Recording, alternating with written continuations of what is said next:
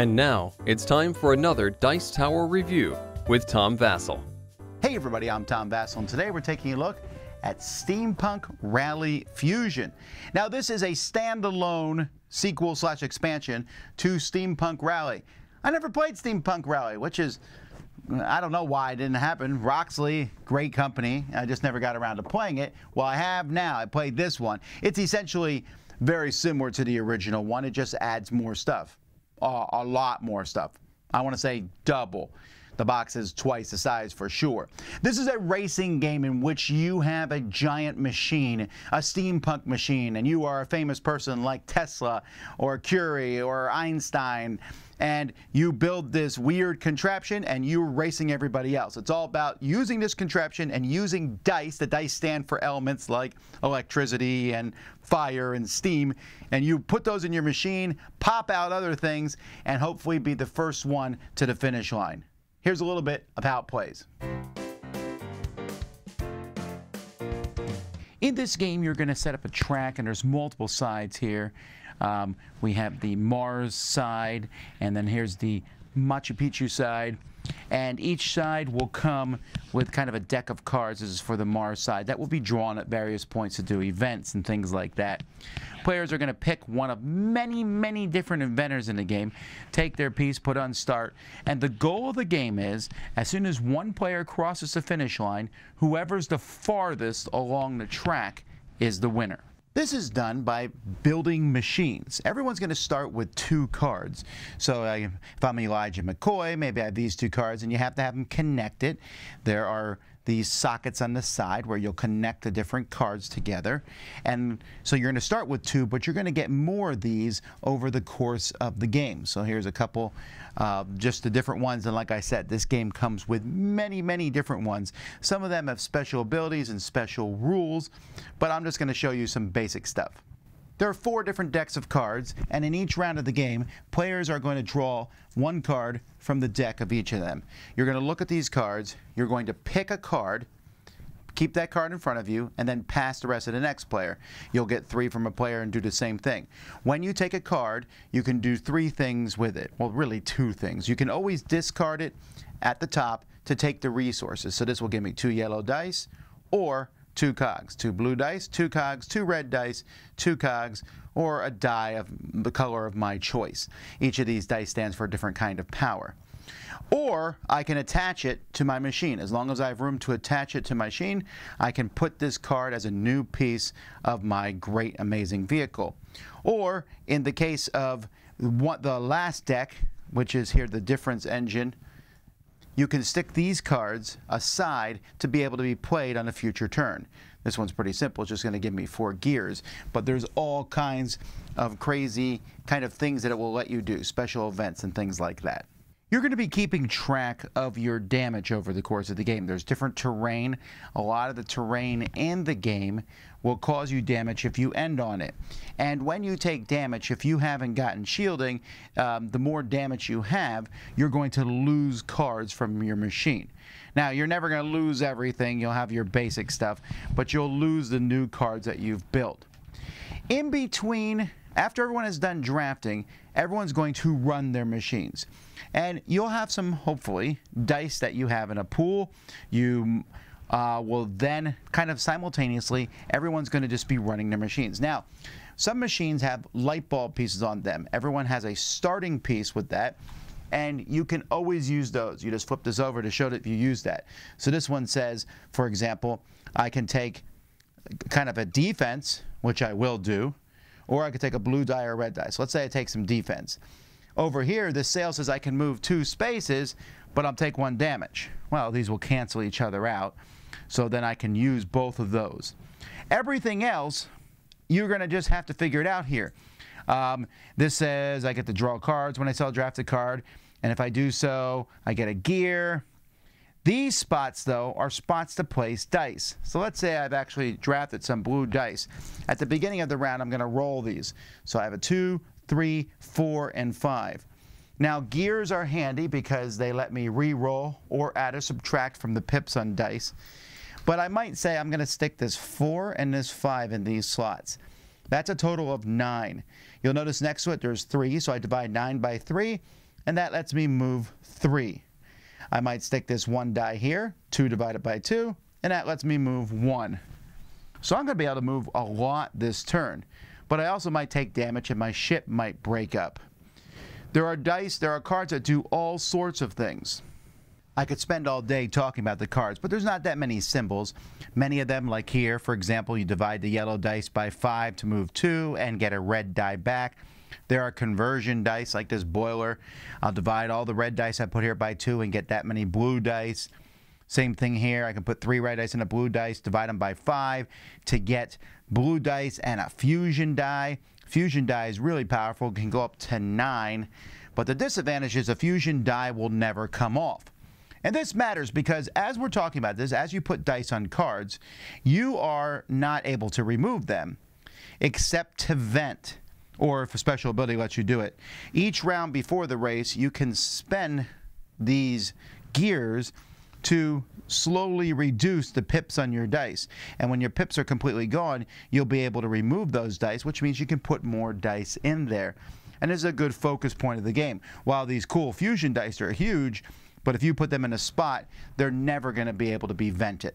So that's pretty much the game. Like I said, you're zooming around the racetrack, trying to be the first one to the end, building your machine, drafting cards, and there's a lot of different symbols and things in the game. I do want to mention there's also secret projects. Everyone gets two secret projects at the beginning, and you get to keep one and you're going to be moving this along trying to complete your secret project.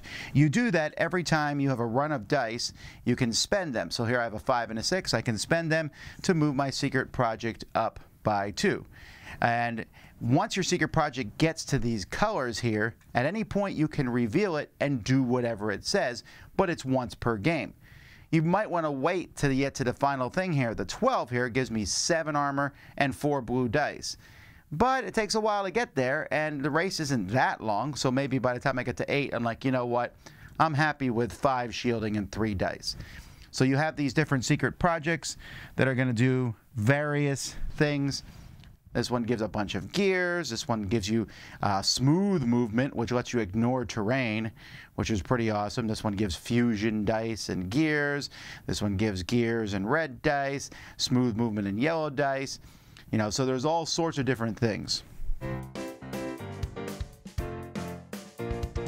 The game comes with a whole pile of boards, and there is a lot of symbols and stuff on the different boards. Like, woo, this is neat. I got, you know, you have enough to make a normal racetrack. You don't have to play with the special racetracks.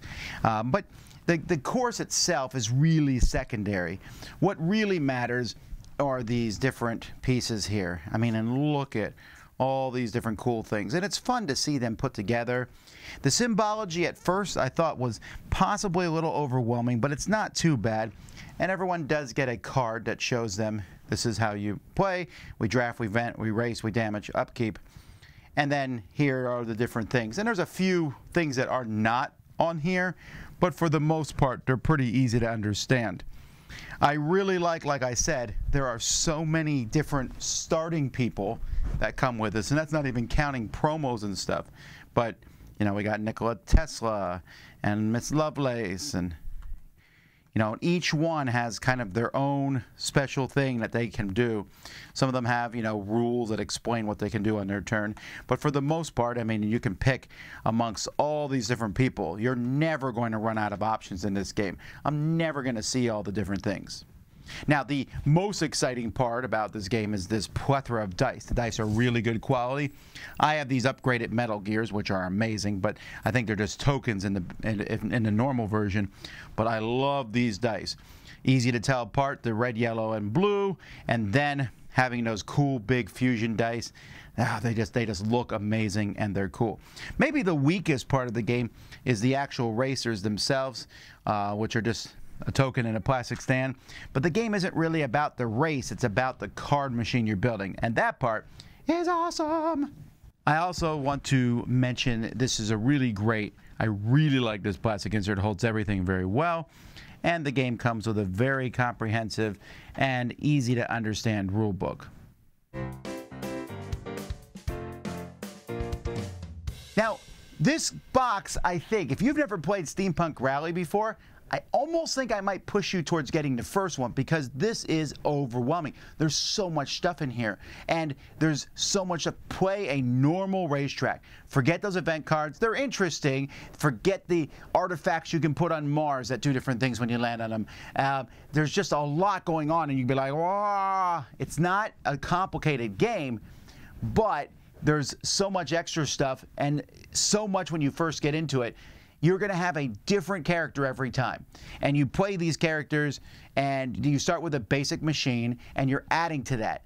So that's enough to keep you occupied for a while. Then you can add in the other stuff. You can ignore the fusion dice, for example, because there's a lot going on and some of it's not intuitive if you've not seen it before, like the venting. Venting isn't particularly intuitive. You're like, well, I'm spending cogs to slowly reduce pips on dice. Yeah, so you can pull them off to put more dice on. Each dice that you, you don't use each turn, they're going to go away, so you got to figure out how to use them. There are cards that let you store dice for future turns, but it's tricky. There's a lot going on. And so when you get this handful of cards to draft, you look at it and say, all right, at the beginning you have all four, but after that you're going to get whatever they drafted to you. So the bronze card is ways to transform dice into other dice, but also it has four connections on the side. If I take a bunch of cards with only one connection, I'm going to shut my machine down. I'm not going to even be able to add more to it. Or the special card, which lets me do crazy things. There's one special card that lets you add another pilot in. So you go through the deck of, of pilots that haven't been used, and I might have Thomas Edison as my driver, and now a Tesla shows up. Never would happen, but that's just fun to think about. Or uh, do I want the gold ones, which give me more movement, or the silver ones? And, and so you're sitting there and trying to figure all this stuff out, and there's a lot to think about.